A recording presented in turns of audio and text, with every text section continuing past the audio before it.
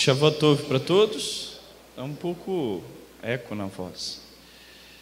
Bom estar aqui em mais um fim de Shabat. Nós vamos compartilhar da palavra. Agradeço nossos visitantes por estarem aqui. Tá? É um prazer tê-los aqui. Dá para perceber que você é irmã da Néia, né? mãe, a mãe já tive o privilégio de, de revê-la, né? Muito bom tê-los aqui conosco, tá? Que o Eterno possa abençoá-los. É... Hoje eu estava tentando preparar essa palavra e eu tenho certeza que o Eterno é aquele que vai à nossa frente, nos abençoando. E se você está aqui hoje, um propósito tem, né? Um propósito tem. Nunca quando nós estamos diante de Deus é, não tenha um sentido. Pelo contrário, sempre tem um sentido, sempre tem um propósito estabelecido por Ele. E nós precisamos ser inteligentes e somos é, espertos, vamos dizer assim, espiritualmente falando, para aprender a ouvir aquilo que Deus tem a falar no teu coração e no meu coração. Nós estamos num período, vou falar, meu nome é Francisco, eu sou o líder dessa casa, juntamente com os diáconos, para aqueles que não me conhecem. É, nós estamos num período, nós somos uma casa judaica messiânica, somos compostos de descendentes de judeus e de não judeus, a sua grande parte, mas que abraçamos a fé do Deus de Abraão, de Deus de Isaac, o Deus de Jacó. Abraçamos a fé no nosso Machia, Yeshua HaMachia, que não existe nenhum nome acima deste nome. Ele é o nosso Redentor, o nosso Salvador, que transforma a nossa vida. Clamamos aqui porque pela cruz fomos atraídos, fomos chamados, e de fato fomos por essa cruz que hoje nós proclamamos a fé no único Deus, no Deus de Abraão, de Isaac e Jacó. E, Claudeci, a, a cruz não é vergonha para aqueles que creem em Yeshua, mas ela é a demonstração do poder de Deus, porque ela transforma o interior do ser humano, né? E hoje o, o título do estudo é Aprendendo a Entender Nascer de Novo. E eu gostaria muito que você centrasse o seu pensamento, que você aquietasse a tua, a tua cabeça, esqueça do celular, esqueça que tem um jogo importante do Campeonato Brasileiro passando, deixa para lá. É, esqueça que você poderia estar lá fora e que você centrasse na palavra. Eu tenho certeza, se eu falasse assim para qualquer um de vocês, ah, hoje vai ser o dia que vocês vão se tornar milionários. Basta que você entenda a mensagem que hoje está sendo pronunciada. Você não ia perder um fio da meada. Você não ia perder um segundo dessa palavra. E hoje é o que Deus está nos propondo. Ele está nos propondo a sermos milionários espiritualmente, a sermos supridos de tudo aquilo que nós necessitamos, no âmbito espiritual e, por consequência, no âmbito físico. Então eu gostaria que você ficasse atento a essa mensagem. Pode tirar ali, tira para mim o slide, porque não, não tenta. Ô, Renata, tira o slide aqui para mim, fazendo favor. Renata, pede ela para tirar o slide. Acho que é isso. Agradeço. Acho que fui eu que apertei aqui. É, o título dessa mensagem é Aprendendo a Nascer de Novo. Eu acho que todos conhecem essa palavra. Né? Eu queria que você abrisse a sua Bíblia comigo, João capítulo 3. Isso é um aprendizado, Francisco? É, é um aprendizado. É um ato que requer um aprendizado. E eu quero dar essa visão de nascer de novo aos olhos dos ensinamentos de Yeshua Hamashia. Aos olhos dos ensinamentos de Yeshua Hamashia. O que é nascer de novo? Se eu perguntar a vocês aqui, que horas que Yeshua disse essa palavra? Foi quando? Vocês lembram? Foi quando ele estava conversando com um dos grandes rabinos da época, Nicodemos, que vocês é, conhecem pelo seu nome grego, né? mas o seu nome tinha um contexto hebraico. Né? É, foi nessa hora que Yeshua falou para ele: se o homem não nascer de novo, não pode ver o reino dos céus. Né? Ele não pode entrar no reino de Deus. E eu quero te dar a verdadeira conotação dessa frase, nascer de novo. Porque hoje, na, na compreensão cristã, Nascer de novo representa aquele momento que nós cremos em Yeshua como Messias. E de fato, tem uma realidade nisso. Porque quando Yeshua fala de nascer de novo, ele está falando, eu estou vendo que a congregação ainda está um pouco dispersa, presta atenção em mim.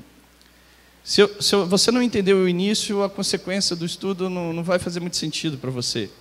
Mas quando Yeshua disse nascer de novo, ele de fato estava falando de uma mudança de vida, de, um, de uma situação que estava sendo vivenciada naquele momento, na qual não era a realidade espiritual que Deus requer de um ser humano, e em determinado momento houve a compreensão e uma mudança de vida. Isso tem o sentido de nascer de novo. Mas quando Yeshua estava falando para Nicodemos sobre nascer de novo, o sentido era mais profundo.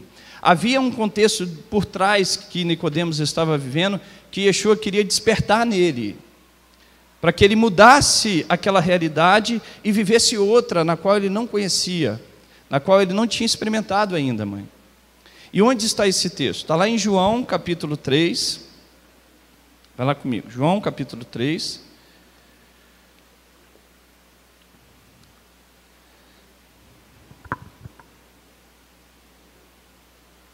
Yohanan, que é o nome dele em hebraico. João capítulo 3, no verso 1 diz assim: ó, Uma vez eu ensinei aqui para vocês, tem aproximadamente uns dois meses, sobre é, a importância e o reconhecimento é, de, de Yeshua como um rabino dado por Nicodemos. Né? Eu, eu, acho que vocês lembram desse estudo. Mas aqui eu quero dar outra, outro sentido, pegar o outro, outro lado dessa mensagem. Né? No verso 1 diz assim: ó, Havia entre os fariseus um homem chamado Nicodemos, um dos principais dos judeus. Este foi ter de noite esse foi de noite se encontrar com Yeshua e disse: Mestre, sabemos que ensina da parte de Deus, pois ninguém poderia fazer esses sinais miraculosos que tu fazes se Deus não fosse com ele. E Yeshua respondeu: Em verdade, em verdade te digo, que quem não nascer de novo não pode ver o reino de Deus. Perguntou-lhe Nicodemos: Como pode um ser humano nascer novamente, sendo ele velho? Poderá voltar ao ventre da sua mãe e tornar a nascer? Yeshua respondeu: Em verdade, em verdade te digo que aquele que não nascer da água, do espírito, não pode entrar no reino de Deus. Eu gostaria de orar juntamente com a congregação. Vamos orar? Eterno, nós te agradecemos pelas tuas bênçãos, pelo privilégio de estar aqui nesse fim de Shabat, no início de mais uma semana. É, estamos aqui para aprender da tua palavra e reconhecemos a tua soberania, a tua grandeza no meio de nós. Sabemos o quão, quão pequeno e falho nós somos, como que por causa da nossa má inclinação, da nossa má natureza, nós somos destituídos da tua glória, mas o Senhor, pelo teu amor, pela tua bondade, enviou teu filho Yeshua Hamashia, o nosso redentor, para que através desse sacrifício todo homem, toda mulher tivesse o privilégio de retornar para ti. E eu peço, Senhor, que o Senhor não olhe a minha fraqueza do Francisco, como todo ser humano eu tenho as minhas, não olhe as fraquezas dos meus irmãos que aqui estão, não olhe as nossas falhas, não olhe os nossos pecados, mas transforme o nosso coração. As coisas não ocorrem como a Vitória aqui bem disse, do exterior para o interior, mas as coisas ocorrem do interior para fora. E eu peço a Ti, lave o nosso coração, purifique o nosso coração, lave a nossa mente, lave, Senhor, a nossa compreensão do que é o Senhor e faça-nos entender verdadeiramente para que vivemos, para que fomos formados e para onde iremos. Por isso, venha a Tua bênção sobre nós, a Tua revelação, a Tua presença, ó Pai, ela transforma e ela quebra todos os grilhões, todos os pecados, ela destrói Senhor, a tua presença nos liberta verdadeiramente, como nos ensinou o nosso Machia, se conheceis, se conhecerdes a verdade, verdadeiramente ser livres. E é o que desejamos ser. Por isso, venha sobre nós e fale no coração de cada um que aqui adentrou e que nós possamos sair daqui transformados pelo poder da tua palavra. No nome de Yeshua HaMashiach.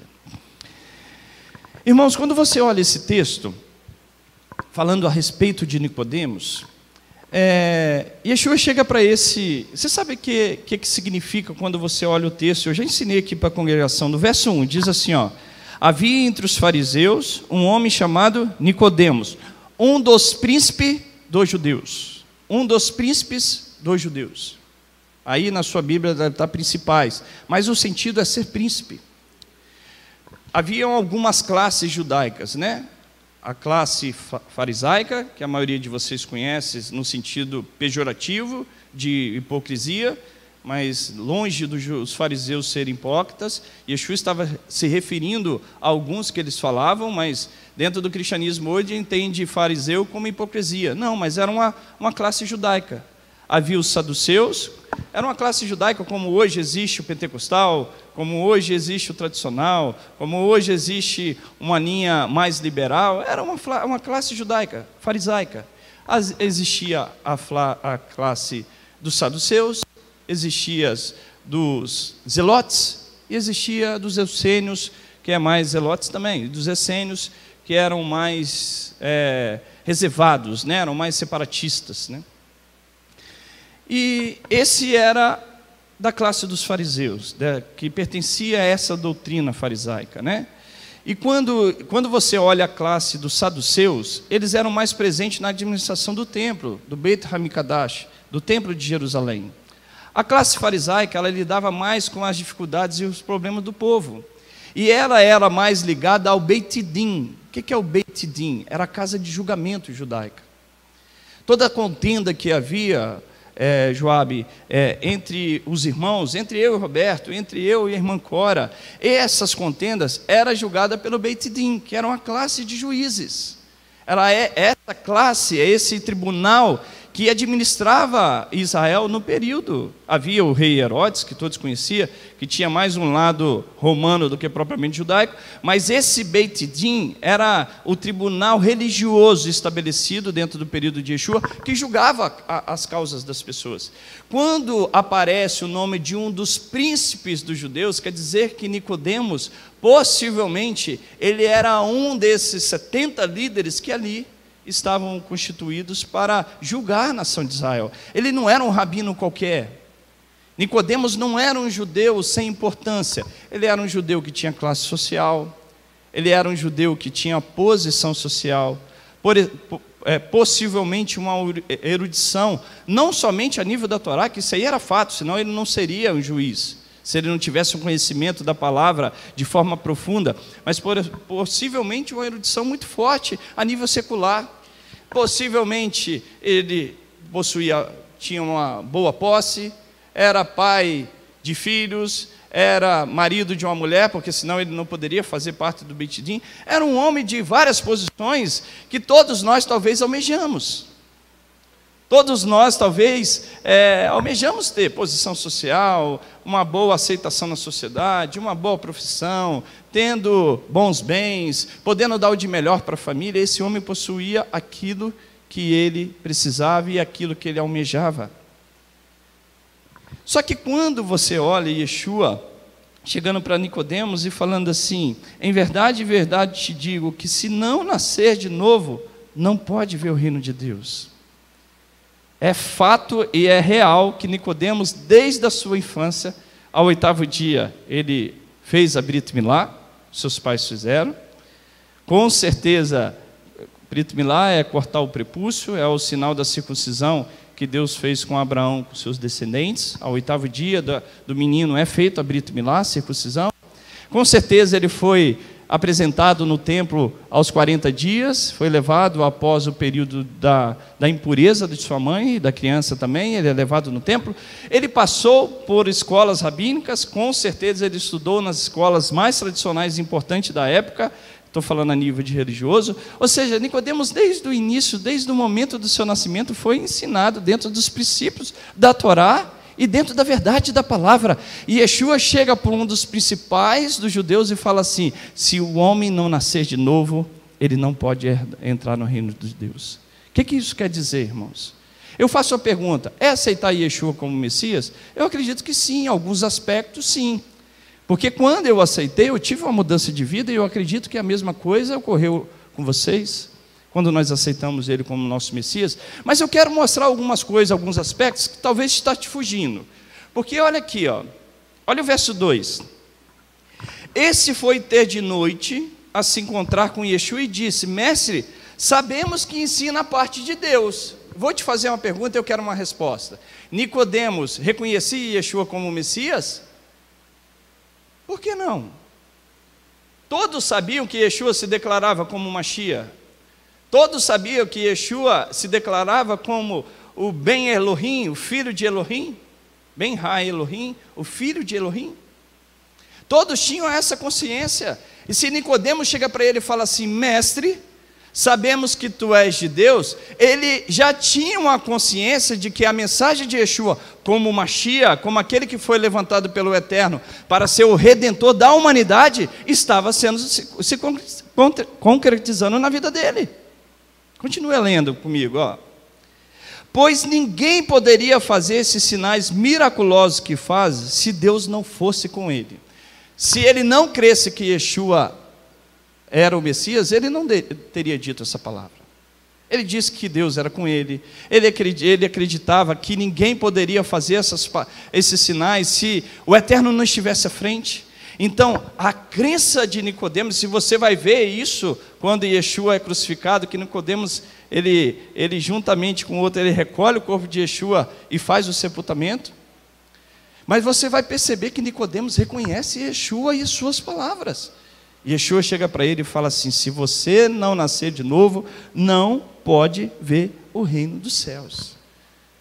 E aqui, irmãos, é a grande questão. Porque Yeshua vai no centro do problema.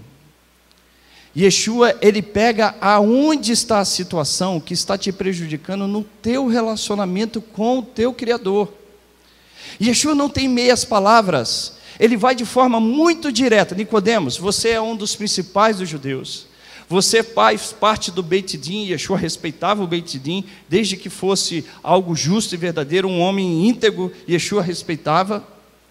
Yeshua tinha temor e tinha respeito pelo templo, tanto que ele foi todo zeloso acerca do templo, tirando aqueles cambistas. Então ele tinha respeito pelas a, a, as instituições judaicas. E quando ele chega e fala: "Falta alguma coisa em ti", Nicodemos, e é necessário você nascer de novo. Ele sabia que Nicodemos tinha sido feito a Brito Milá, ele sabia que Nicodemos tinha sido apresentado há 40 dias, ele, ele sabia que Nicodemos tinha estudado nas melhores escolas judaicas, mas faltava, faltava algo. Yeshua vai no ponto da questão, em todo momento na relação com Yeshua, ele pega o ponto da questão. Você lembra da mulher samaritana? Um, um capítulo depois aí da sua, da sua Bíblia. Um capítulo desse livro, no capítulo 4 de João, eu já falei isso para vocês. Quando aquela mulher está no poço de Jacó, Yeshua vindo de outro território, ele para, deixa eu só beber uma água.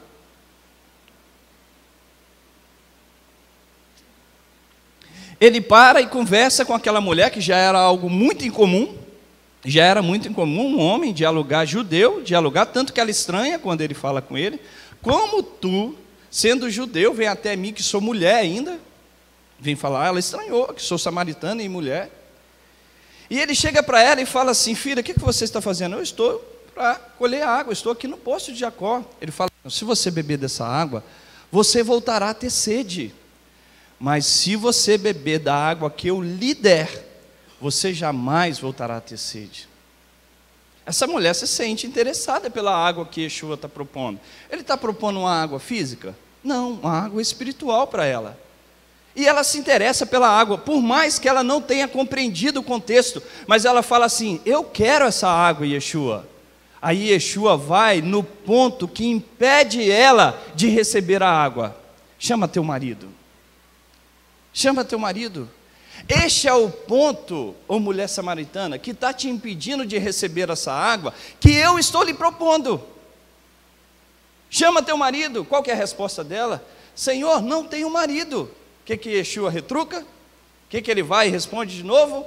Ele chega e fala: Dissestes bem. Já tiveste cinco maridos, e o que agora você tem não é teu.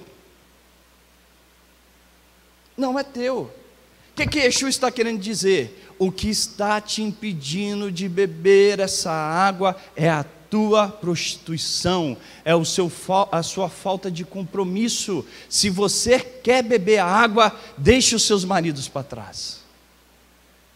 Possivelmente essa mulher já tinha e eu sempre eu ensino isso aqui na congregação, né? Já tiveste cinco maridos e o que a Gomera tem não é teu, quer dizer o quê? Que era de outra.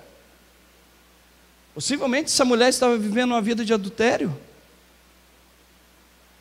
Yeshua apresenta a ela aquilo que impedia a ela de receber a água da vida.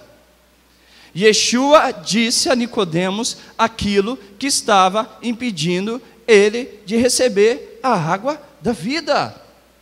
Yeshua fala para mim e para você constantemente, Shabat após Shabat, dia após dia, após dia, aquilo que tem impedido de recebermos a água da vida. Se fizer a pergunta para o Francisco e para vocês, onde está o teu marido? Nós também receberemos a mesma resposta, só que o número que será colocado será mais do que cinco. Já tivemos milhares. Já tivemos a televisão como marido, onde nós trocamos para o nosso verdadeiro marido que é eterno. Já trocamos as prostituições em vez de adorar o primeiro marido que é o eterno. Já tivemos a televisão destruindo o nosso lar. Já tivemos o dinheiro destruindo a nossa casa. Já tivemos o nosso trabalho usurpando o nosso tempo espiritual. E nós estamos trocando de marido dia após dia. Uma hora é o trabalho, uma hora é outra coisa, uma hora é o futebol, outra hora é o esporte, outra hora é não sei o quê, outra hora é não sei o quê. E o verdadeiro marido está sendo deixado de lado. Vai e chama teu marido. Quem você vai chamar, irmão? Quem é o teu marido? Porque eu sei quem é o meu. Eu, Francisco, sei quem é o meu marido. E eu posso te dizer que às vezes falta de seu Rachem, o eterno. Agora, quem é teu marido? Não pense que eu estou aqui pontando o dedo para você, não. Eu tenho as minhas falhas. Quem é o nosso marido? É o eterno? Ou quem nós estamos trocando e colocando no lugar dele?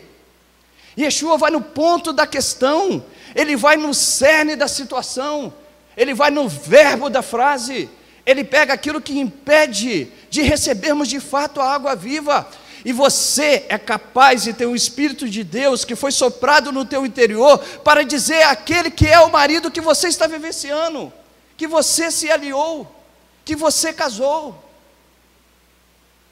E o que, que tem impedido essa congregação de viver com seu verdadeiro marido? Aquele que de fato te gerou, aquele que de fato te dá vida, aquele que de fato transforma o teu interior, aquele que de fato cuida da tua vida, da tua família, te prospera em todos os caminhos, aquele que de fato vai à sua frente na batalha, aquele que te levanta quando você está caído, aquele que te dá força quando você está cansado, aquele que te dá esperança quando você está desanimado. Que marido nós temos abraçados, abraçado e temos experimentado, Roberto? Qual é o marido, irmãos? Responda você mesmo a você mesmo. Não precisa falar em voz alta. O Eterno conhece o teu coração. Você quer ver um outro exemplo que Yeshua vai no cerne da situação, vai no ponto da questão, Manel? Você lembra daquele jovem rico? Vai comigo. Mateus capítulo 19. Mateus 19.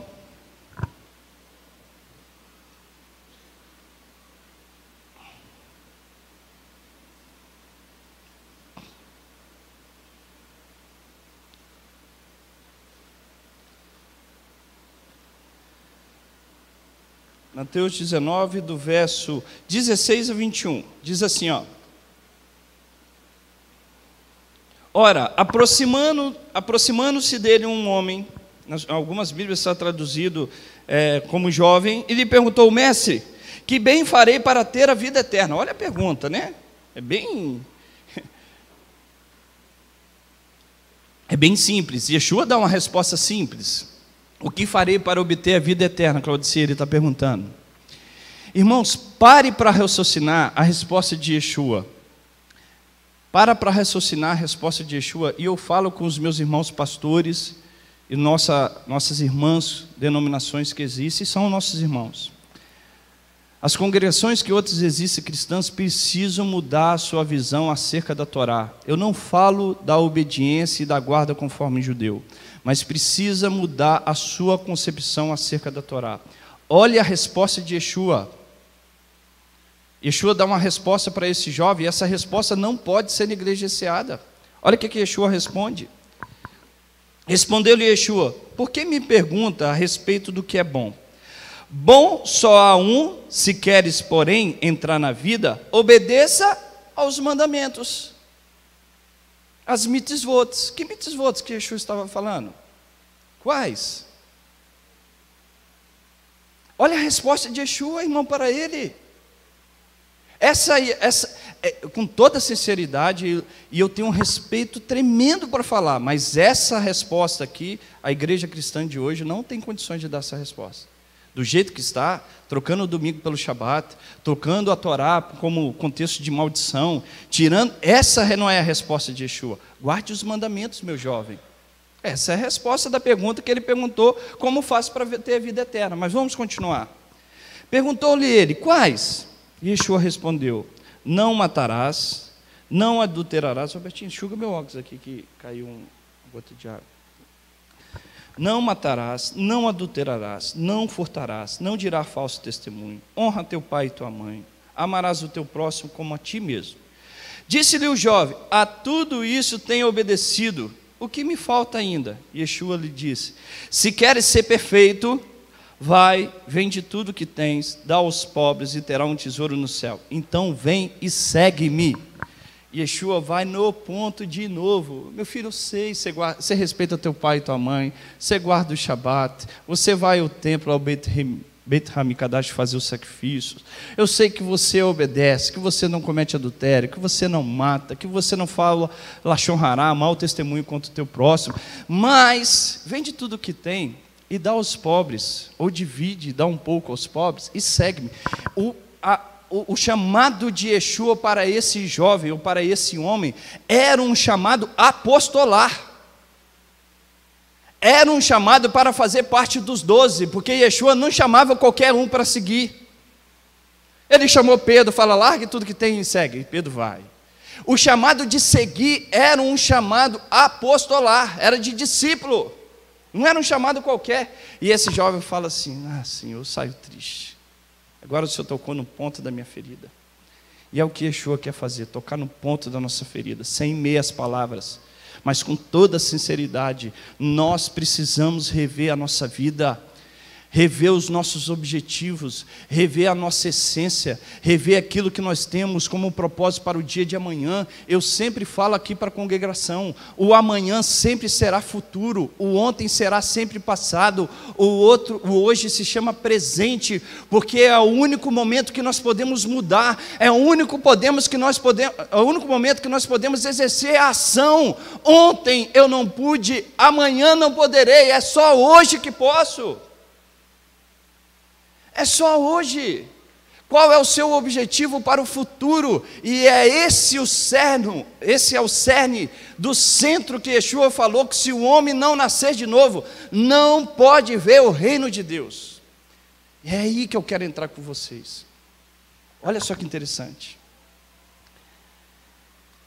Eu quero dar o verdadeiro sentido do que, que Yeshua está falando nascer de novo, ou nascer do alto, tá? O, o termo em grego aqui, ele não, ele não, não, não, define se é nascer do alto, mas o sentido é esse: é um, é um nascer que muda a sua vida espiritual, muda a rota da sua vida, muda a rota da tua direção, muda aonde você está caminhando. É este sentido que Yeshua está falando. Nascer de novo quer dizer que neste momento algo me impede de ter um relacionamento genuíno com Deus e eu preciso mudar essa rota. Eu preciso nascer de novo. Olha aqui, para que você entenda. Eu quero colocar aqui com vocês, para que você. Isso. Eu quero que você entenda o sentido. Essa frase nascer de novo, Yeshua não buscou ela do acaso. Ele não trouxe, Chandra, ela de um conceito que não existia na época. Até porque, se as pessoas não compreendessem, ele não falaria. Se eu falar em hebraico aqui, não tenho muito muita habilidade em falar, tenho mais facilidade de ler, mas se eu falar, a maioria de vocês não vai entender um contexto que eu vou falar. Então, para que falar? Para que se expressar? Se Yeshua estava falando com Nicodemos, é necessário nascer de novo? Nicodemos, embora ele não compreendeu, embora naquele momento ele questiona, mas Yeshua dá uma resposta que no final ele compreende. Que no final ele entende. Mas nascer de novo é um conceito judaico. E onde está esse conceito judaico? Eu vou te mostrar. Um deles, tá? Tem outros, mas eu vou te dar, na verdade, vou te dar três conceitos é, que representam esse contexto de nascer novamente. O primeiro está lá em Gênesis, abre a sua Bíblia em Gênesis capítulo 12. Gênesis 12. Lê para mim, Roberto, só, é, só a parte A do versículo. Até quando fala Arã, né? A terra de Arã. Isso. Está ouvindo? Estão ouvindo? Acho que Oi. sim. É, levou Abrão consigo a Sarai, sua mulher, e a Ló, filho do seu irmão, e todos os bens que haviam adquirido, e as pessoas que lhes acresceram em Harã. Partiram para a terra de Canaã e lá, lá chegaram. chegaram. Isso, olha só. O que, que estava acontecendo? Deus chega para Abrão, ainda o seu nome era Avram, não era Avraham, era Avram, Abrão. Chega para ele e fala: sai da tua terra, da terra onde ele fora formado, da tua parentela, para a terra que eu te mostrarei, pois em ti serão benditas todas as famílias da terra. Leia comigo devagarzinho o verso 5 de novo. Ó. Abraão levou consigo Sarai, sua mulher, Eló, filho de seu irmão, e todos os bens que havia adquirido, e os servos comprados em Arã. Como que você leu aí? Servos está o quê? E as pessoas que, lhes acrescent... que foram acrescentadas em Arã. Tem uma outra tradução diferente disso aí? Hã? Almas. Tem alguém com tradução diferente ainda? Tem uma, tem uma tradução que está assim: aos homens comprados em Arã ou adquiridos em Arã, mas tem alguma tradução que está comprado. Quando você olha esse contexto, quando você olha esse contexto, fala assim: ai, mas é uma coisa muito simples. O Carlinho que tem posse, ele tem esposa dele, posse no bom sentido, estou dando um exemplo, né? O Carlinho tem a posse, tem a empresa dele, ele tem os empregados, o Carlinho muda de cidade, os empregados preferem com Carlinhos. Dá esse sentido, né? Abraão, um homem de posse, um homem de riqueza, ele muda de cidade, as pessoas preferem ir com ele do que ficar naquela terra. O sentido, quando você lê esse verso, é esse, mas não é o sentido bíblico e judaico. Por que, que não é? Quando você lê em hebraico, você vai entender o verdadeiro sentido. Leia aqui comigo, leia comigo. Está aqui, ó. Vai cá Avram, depois eu vou traduzir. Vai cá Avram et Sarai, estou, vet lot ben Ariv, Veet Kol Rehusham, Asher Hahushu, Veet Hanefesh, Asher é, Assor Baharam. O que está escrito aqui em hebraico para você entender como a sua tradução não conseguiu pegar o fio da meada, não conseguiu traduzir o, o verdadeiro sentido desse é, e foram com eles. Olha aqui, ó, vou traduzir em português. Vai crava Abraão et Sarai estou, é, e tomou Abraão, Abraão a Sarai sua mulher. Está fácil de entender, está igual a sua tradução. E tomou Abraão a Sarai sua esposa, sua mulher, né? Aqui vem da palavra Ishá, estou, sua mulher. Veet Lot ben Ariv, Eló, filho de seu irmão. Algumas Bíblias já traduzem como sobrinho, né? Mas é filho do seu irmão. Veet kol rehusham e todos os seus acúmulos, tudo aquilo que ele acumulou. E aqui repete que acumulou, é uma repetição. Então, tudo aquilo que ele tinha acumulado, aquilo que ele acumulou, veet hanefesh. Está vendo em branco ali? Hanefesh. Eu já ensinei para vocês como é homem hebraico. Como que é homem hebraico? Ish. No plural seria anashim. Ali não está escrito homens. Não está escrito, não está escrito homem no plural e nem no singular. Está escrito nefesh. O que é nefesh? Vocês sabem. O que é nefesh? Alma. Alma. E olha que interessante você continuar lendo. Ó. Asher, Assu, Baharan. Ou seja, e as almas que eles fizeram em Arã. Fizeram. Que eles fizeram. A palavra assu vem da palavra assá, que é fazer. Que eles fizeram. Por que, que aqui está a alma? Porque Abraão, ele já proclamava o moniteísmo. Ele já proclamava a fé no único Deus. Essas pessoas que escolheram partir com Abraão são pessoas que aderiram à fé no único Deus. Por isso que a Torá chama de almas e não de homens. Foram eles que partiram com Abraão, porque eles não queriam viver naquela terra de idolatria, mas eles queriam viver a fé de Abraão e de Sara. É isso que os rabinos ensinam. Por isso que está Nefesh. Ali o, o rei aqui é só um artigo. As almas a alma, na verdade. Né? Por que, que eu estou mostrando esse texto aqui para você? Existe um ensinamento judaico acerca dessa frase, que ele levou as almas, e que eles fizeram essa alma, eles fizeram as almas. Existe um comentário judaico que está no Talmud acerca desse contexto, dessas almas que foram com Abraão. Olha o comentário judaico, está ali, ó. Nascer de novo, leia comigo e as almas que eles criaram em Arã. Ele está falando desse texto aqui, ó. E as almas que eles criaram em Arã. E Arã aqui era o território, né? Aí ele está falando, o que, que significa e as almas que eles criaram em Arã? Disse o rabino Elazar Benzirá, mesmo que toda criatura na terra conspirasse para criar, mesmo um mosquito, eles não poderiam lhe dar uma alma, uma alma. Você pode criar um, um prédio, você pode criar é, um robô, você pode criar um objeto que pensa, um objeto que age, mas uma alma você, o ser humano não é capaz de criar. As almas eles fizeram. Portanto, eles devem ser, eles devem ser aqueles que viveram com eles e se converteram. E significa convertido, por isso diz feito que a palavra aqui, ó, assu, quer dizer feito. Por isso diz feito. O objetivo era ensinar a você que cada um que traz um adorador de ídolos e o converte é como se ele tivesse criado, nascido novamente. Nascido de novo. Alguém que estava vivendo na idolatria, mudou a sua forma de vida e ele passa a viver a fé no único Deus. Ele nasce de novo. Houve uma mudança de estágio. Ele passou para um outro estágio, um estágio espiritual diferente. Todos nós precisamos de um estágio espiritual diferente, Carlinhos. Todos. Nicodemos era um homem que possivelmente tinha beirando os seus 50 anos e ele precisava nascer de novo. Nicodemos devia ter uma das famílias mais sociáveis e conhecida naquela região, mas ele precisava nascer de novo.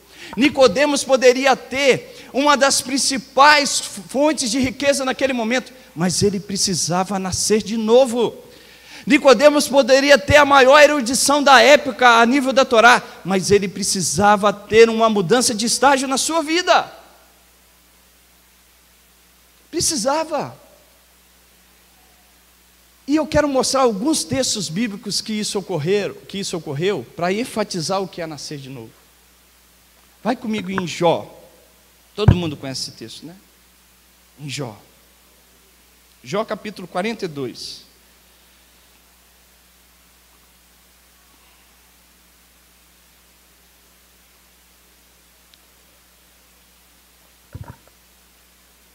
Jó, capítulo 42.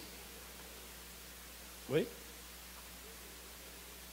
Jó tá.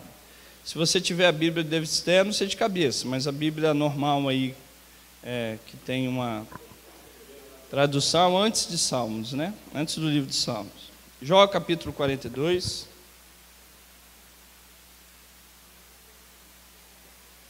A ordem da Bíblia judaica é diferente da Bíblia que, que estamos habituados. Jó 42, verso 1 diz assim: ó, Irmãos, olha que interessante. O primeiro capítulo, mãe, desse livro de Jó, primeiro capítulo, Deus fala para Hassatã, que Jesus conhece como Satanás, é a tradução mais literal, né? É, mas literalmente significa o adversário. Deus chega para ele e fala assim: Está vendo o meu servo Jó, homem justo, tzadik, Ish tzadik, homem justo, reto, e não há na terra ninguém semelhante a ele. Você imagina Deus falando isso de você, graças? Ishat tzadikar, mulher justa, mulher temente a Deus, não há ninguém na terra semelhante a ela, igual Roberto, homem justo, temente a Deus, não há ninguém semelhante a ele na terra. Só que esse homem teve que passar tanta provação, tanta situação. Olha o capítulo 42, mas o que, que eu quero olhar? Se um homem onde Deus chama de justo, reto, íntegro, e que não há ninguém semelhante na terra igual a ele, você imagina eu e você, Carlinho? Você imagina eu e você, Roberto? Imagina eu e você, irmão Alberto? O que, que nós precisamos passar para que a gente alcance esse estágio de nascer de novo? Imagina, Alex. Deus não vai olhar para nós com um olhar de repulsa. Ele vai olhar, eu sei que o meu filho tem mais dificuldade do que o outro, não são semelhantes a Jó, mas eu vou tratar você para que você seja perfeito igual a ele. Você não tenha dúvida. Você não tenha dúvida. Basta que você queira. Basta que você saia desse estágio onde que você procure e eu um monte de marido que não é o nosso criador. Basta que a gente deixe esses maridos para trás e a gente possa prosseguir na, na, no caminho de perfeição que o Eterno requer de nós. Mas chega lá Jó no capítulo 42, no verso 1, ele fala assim: ó, Então respondeu Jó ao Senhor: Eu sei que tudo tu podes, Senhor, e nenhum dos teus planos pode ser impedido. Quem é aquele que perguntaste que sem conhecimento encobre o conselho? Certamente falei do que não entendia, Senhor, coisas maravilhosas demais para mim e que eu não conseguia compreender.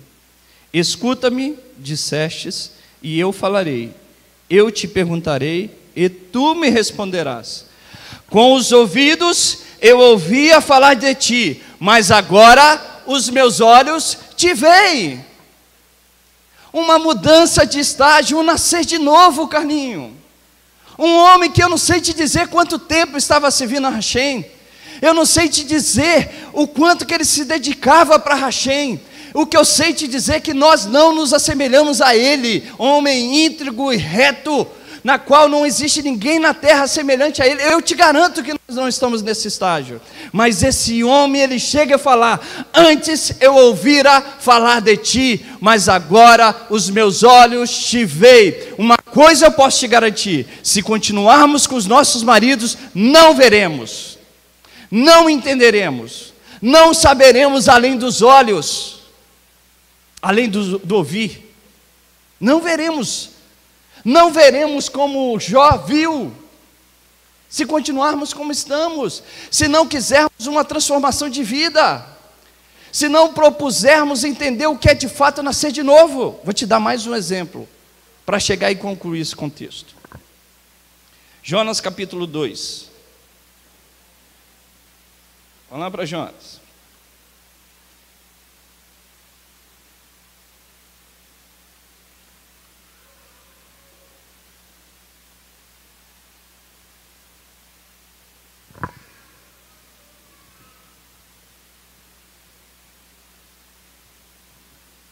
Jonas, além de fugir de Deus, fugiu da minha Bíblia aqui também.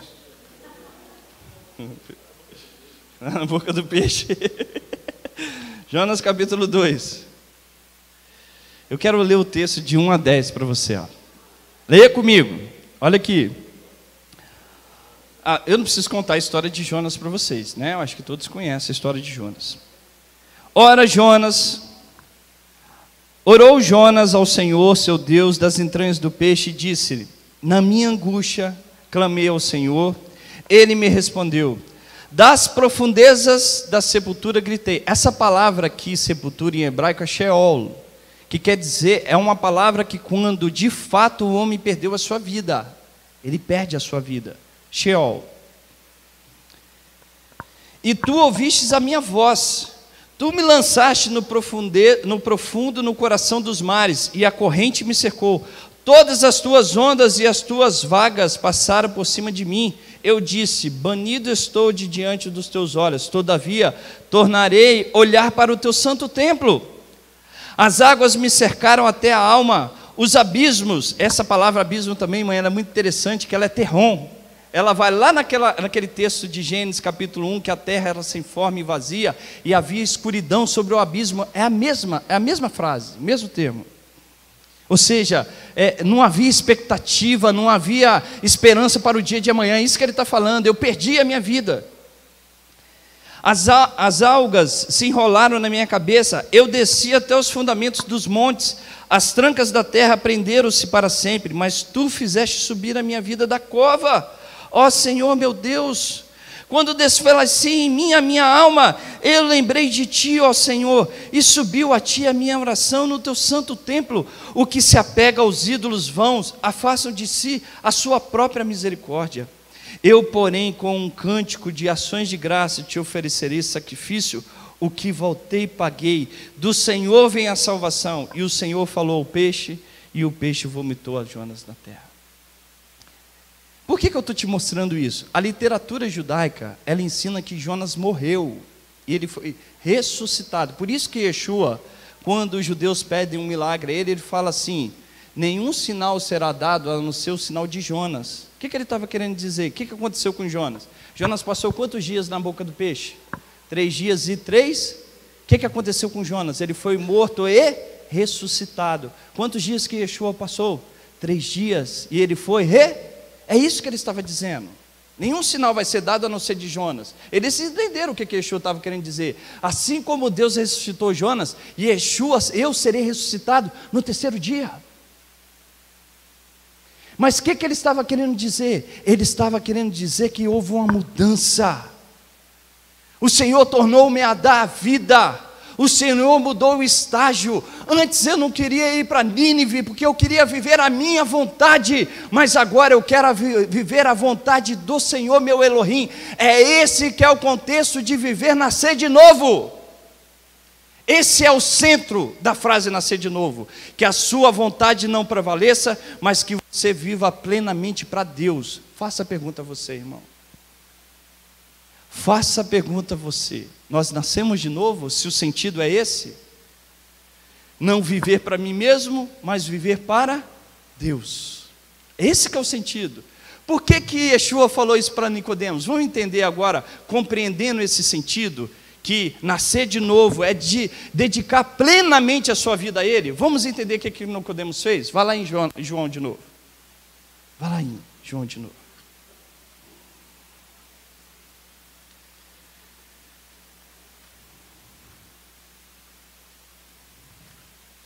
Você lembra que eu falei que Nicodemos era um homem de posição, Mateus?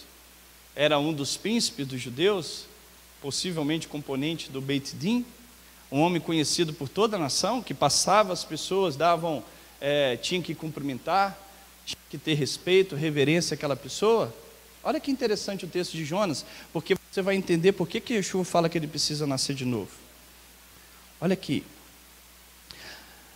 Havia, verso 1, havia entre os fariseus um homem chamado Nicodemos, um dos príncipes dos judeus. Este foi ter de noite se encontrar com Yeshua. Você sabe por que, que ele foi de noite? Porque de dia os líderes veriam. De dia as pessoas saberiam que ele estava crendo nas mensagens de Yeshua. Ele foi noite, porque ele não queria mostrar a razão daquilo que ele estava crendo. Preocupado com aquilo que a liderança do Beit Din ia pensar a respeito dele. E com certeza ele ia ser expulso do Beit Din. E com certeza ele foi. Com certeza ele foi. Foi ter de noite, Yeshua chega para ele: se um homem não nascer de novo, se o homem não ter na sua essência a vontade de Deus, viver para Deus e esquecer a vontade dos homens, ele não pode entrar no reino de Deus. Vamos tirar Nicodemos da história e vamos colocar nós. Vamos colocar nós. Todos nós estamos vivendo para Deus. Eu faço a pergunta aqui. Eu, como líder dessa casa, juntamente com o Roberto, com o pastor José, eu fico triste quando eu vejo os irmãos. Triste quando eu vejo os irmãos que deixam de nos ajudar, porque ficou chateado com A ou B. Você está servindo essa casa por causa das pessoas ou porque você serve o teu Criador? Você se dedica nessa casa ao ponto que a sua vida seja totalmente exclusiva para Deus, eu não vou falar só essa casa não, né? Senão eu vou estar fazendo isso com interesse, e meu interesse não é aqui. Meu interesse é no nosso cotidiano. Na sua vida, no seu trabalho, você trabalha pensando no teu criador e no reino dele ou pensando só em dinheiro e obter mais e mais? Responde e eu vou responder as minhas perguntas. Essa é a resposta que nós precisamos dar. A minha relação com meu marido é pensando em Deus ou é pensando em viver de forma social, ter um companheiro? Eu acho engraçado os pais aqui. Chega e fala assim: não, eu desejo muito que meus filhos sirvam a Deus. Irmão, se você não servir a Deus, esquece de você transmitir algo que você não faz. Isso acontece no mundo físico. Você não tem um carro, você pode dar para o teu filho. Você não teve um, uma boa vida econômica na época que você iniciou o casamento, você pode ter dar uma boa vida social para o seu filho. Mas no mundo espiritual não. Se você não tem obediência, você não pode transmitir isso para o teu filho. É impossível. Se você não tem salvação, você não pode transmiti-la. É impossível. O que nós precisamos entender é que cuide da tua vida. Neste momento nós precisamos ser egoísta. Desculpe a palavra, mas egoísta no sentido assim, pense em você nesse sentido, porque somente pela tua vida você dará conta e somente por ela você pode ajudar. Porque se você ajuda você, você ajudará o teu filho. Você transformará o teu filho. E eu falo, você está aqui por quê? Por causa do seu esposo, por causa da tua esposa? Por causa da tua mãe, por causa do teu pai, por causa do teu, do teu filho, da tua filha. Se este é o motivo que você está aqui, esquece. Nós precisamos nascer de novo. Você, possa, você pode conhecer Yeshua Hamashia, reconhecer as suas palavras, como fez Nicodemos, mas precisamos nascer de novo. Se o seu trabalho é só para obtenção de dinheiro, esquece. Precisamos nascer de novo. Precisamos pensar que no nosso trabalho eu tenho um empregado que passa necessidades emocionais financeiras. E eu preciso estar atento para isso. Você tem um colega do lado do seu trabalho que precisa da tua oração. Se o teu trabalho, a tua escola, onde quer que você vá, se o sentido não for servir a Deus, nós não nascemos de novo. É o que Yeshua está falando para Nicodemos. Nicodemos, você veio aqui de noite para dizer isso para mim que você acredita nas minhas palavras e que ninguém pode fazer o sinal que eu faço se não for nascido de Deus, mas você está preocupado o que, que os líderes estão pensando de você? Por que, que você não veio aqui de dia? Por que, que você não me interrogou e disse essas palavras quando eu estava lá no templo ensinando? Por que, que você não falou na frente? Porque nós pensamos nas pessoas. Nós pensamos nas pessoas, nós não pensamos no nosso Criador. Nós pensamos nas pessoas no sentido assim, ah, eu, eu tenho os meus objetivos, eu tenho a, a minha vida privada, todos nós temos. Todos nós temos, irmãos, nós podemos usufruir do tudo que Deus nos deu debaixo desse sol, desde que seja lícito, tudo.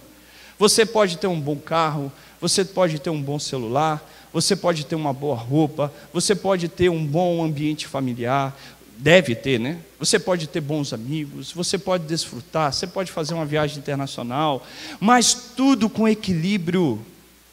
Tudo olhando se Deus está à frente dessa situação ou não. Quantas vezes nós demos um passo que não deveríamos ter dado, irmãos, e que nós sabíamos que não era o melhor caminho. E eu quero chamar essa congregação para que a motivação do seu serviço a Hashem do meu serviço a Hashem, não só Shabat.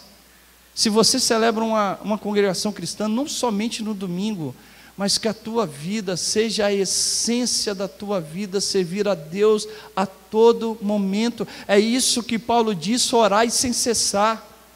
Pensai no reino de Deus sem cessar, e nós não estamos fazendo isso, nós todos, sem exceção.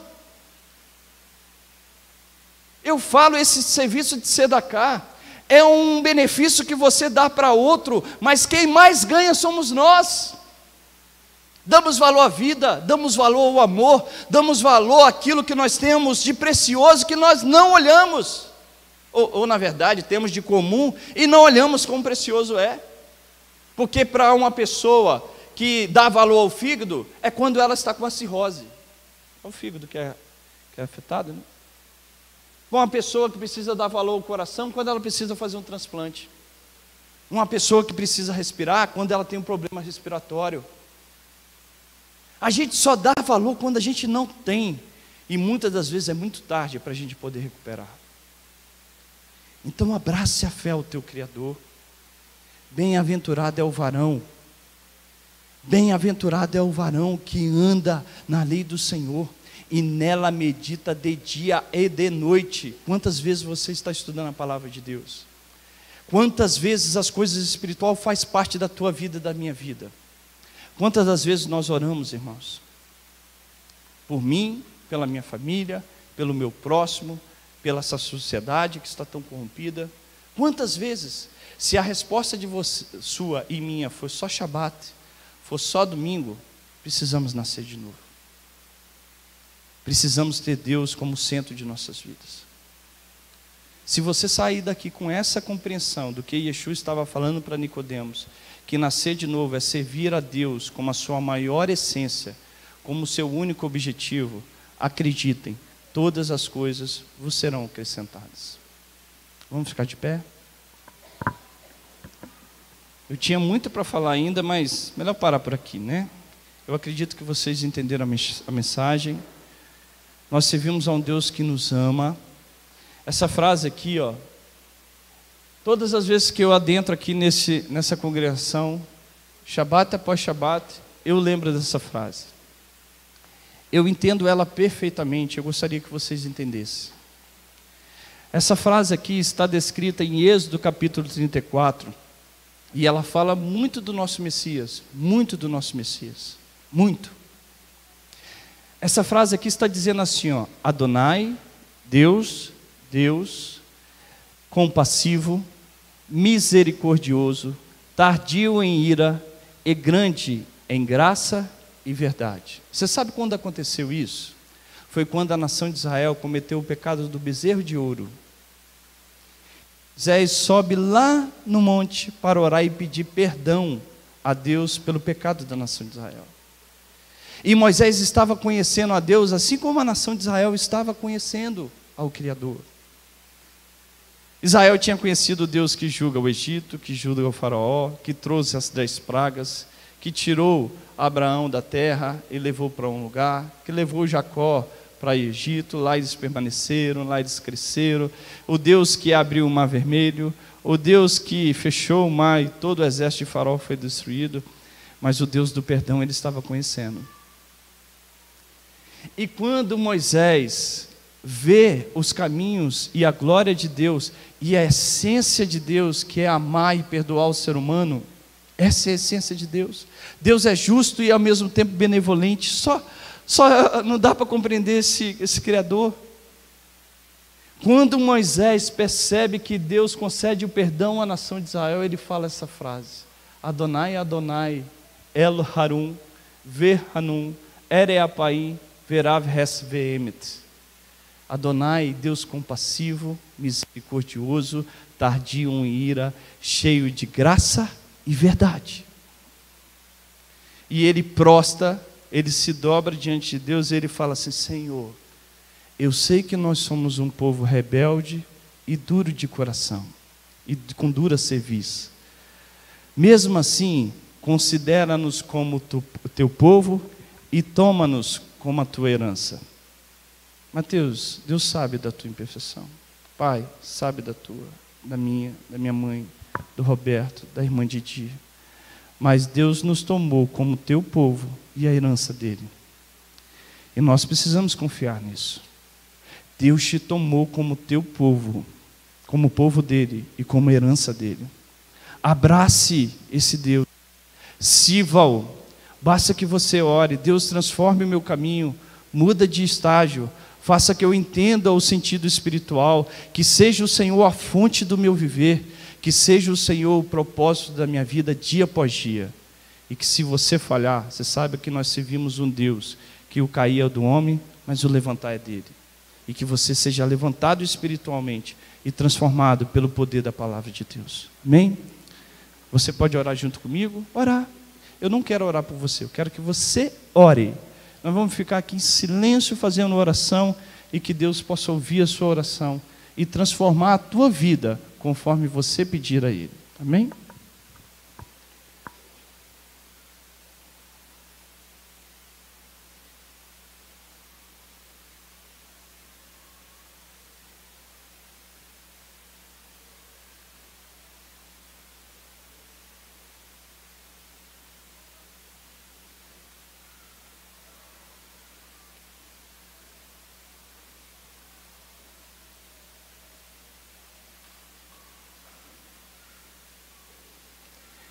Eterno, nós te louvamos pelas tuas bênçãos, pelo privilégio de estarmos aqui na tua casa, por recebermos a tua palavra, por sabermos que tu és um Deus que transforma as nossas vidas. Eu desejo muito, ó Pai, que o Senhor transforme o meu coração para o bem, para te servir, para lhe amar, com todo o meu ser, com todo o meu coração e com toda a minha força. Este é o meu desejo, essa oração para junto de ti. Eu tenho muitos desejos, ó Pai, físicos, tenho muitos desejos de, de ter bênçãos neste mundo que nós vivemos, mas nada supera o desejo que eu tenho de amá-lo e de servir com todo o meu coração. E eu também acredito que esta é a oração dos teus filhos. Eu peço que o Senhor nos, nos ouça e que o Senhor derrame sobre nós a tua bênção, a tua salvação, de maneira, Senhor, que todo momento a gente tenha certeza e a plena convicção que o Senhor está conosco, que o Senhor tem nos guardado e nos abençoado. Faça florescer do nosso interior para fora a nossa alegria, a nossa salvação e que as nossas vozes levantem gratidão a Ti por toda a bênção que o Senhor tem nos dado. Transforme cada marido, transforme o coração de cada mulher, de cada filho, de cada família, de maneira que nós sejamos de fato a luz deste mundo e o sal dessa terra. Este poder, Senhor, não vem do homem, mas como diz a tua palavra, não por força, nem pelo poder, mas pelo teu espírito. Por isso, fale a cada um de nós. Incomode quando nós estivermos pecando contra ti, de maneira que a nossa essência, a nossa vida, seja viver para ti, para a honra e glória do teu nome. É o que nós oramos e pedimos no nome de Yeshua HaMashiach. Amém